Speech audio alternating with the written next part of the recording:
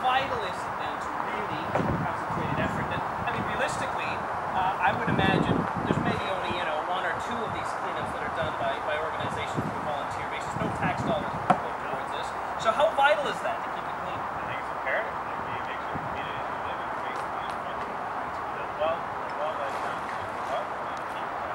And in fact, the research shows there's over 42 species of fish, 142 different animals.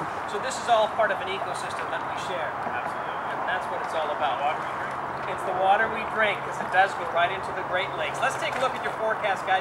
We'll start off by letting you know that the weather is brought to you by the Preszler Law Firm Injury Lawyers. You don't pay unless they win. From there, we get into our weather watch, some of the big uh, stories that we're tracking for you. Let's start in Ontario. Yeah, chilly. It was chilly certainly yesterday morning. Five uh, record low.